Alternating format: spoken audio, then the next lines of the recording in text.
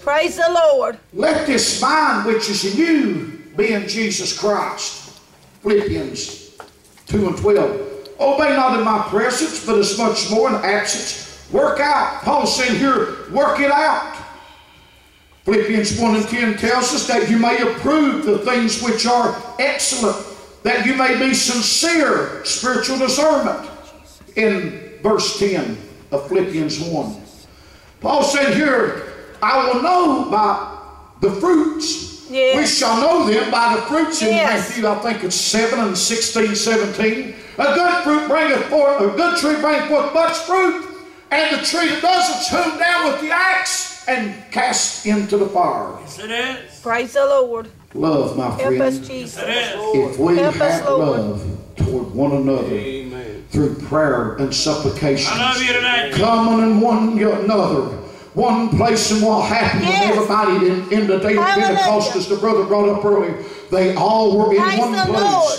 They all had the same Yes. thing on their mind. They was waiting for the promise. Isn't that what we hear Praise for the tonight? We're waiting on the promise. Holy A lot of people, brother, wait, Move in this standing on the premises and not the promises. We are Hallelujah. standing- Move We're standing here tonight to wait on Praise the the promise. Lord. Even the Lord Jesus said, Wait, and I will send Yes, to you the promise. Hallelujah. He kept, he kept his promise. Yes, he didn't. He Praise the Lord. Ghost. Praise the Lord. Praise the Lord. God, the cloud of smoke came in Give it a on the day of Pentecost.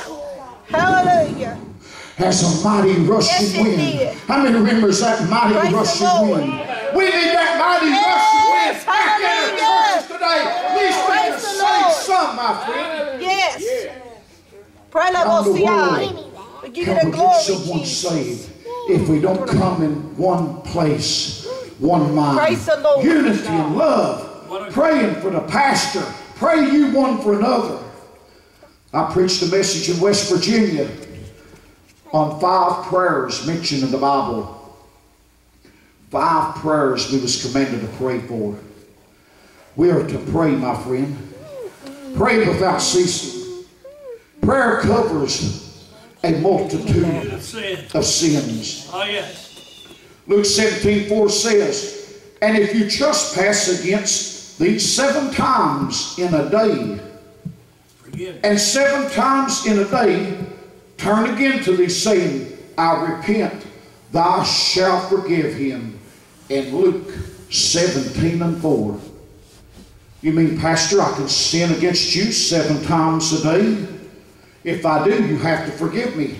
That's exactly, can I get amen? That's what Luke 17 and 4 says. If we sin seven times a day, forgive him. My friend, if we sin seven times a day, there's something wrong with us, isn't it? That's it. Christ is using an illustration here. Luke is telling us a prime example. If we sin, ask to repent to the brother, he shall be forgiven of his sins. Amen. Forgiving one another.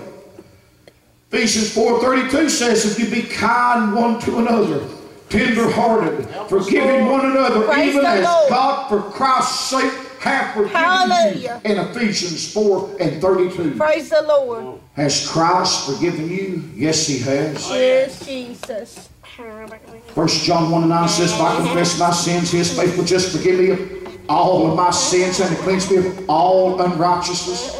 Romans 10 13 says, If I confess my sins, he is faithful just to me all of my sins and to cleanse me. Praise the Lord. Revelation 22 17 says, The Spirit said, About whosoever will let him come. What a loving God. It's not God's will. A lot of people quote John 3 16. Well, not John 3 17.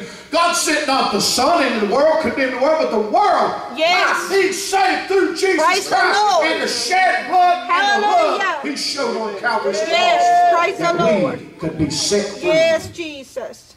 What a wonderful Savior we have. Praise the Lamb of God. The love of God. Praise shed the Lamb. Spiritual discernment, Luke 5 and 22.